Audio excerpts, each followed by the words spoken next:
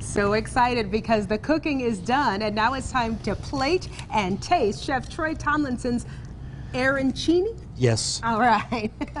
And again, you can do whatever. You don't have to use this presentation. You can, you can put uh, any sort of sauce. Again, be creative with what you put in them.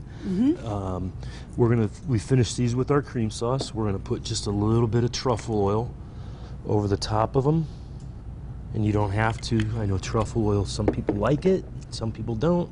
This is fresh grated Parmesan great for parties. You can pre-bread them and freeze them.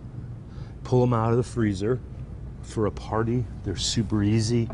Um, now let's say I'm not adventurous in the kitchen. Can I get these at Biaggi's and just spring them on my guests as though I did make them myself? Yes, but o- but only for a couple more weeks. They're they're uh, they're going away. They had a nice crispy texture, a little creamy. The mushroom comes through real nice.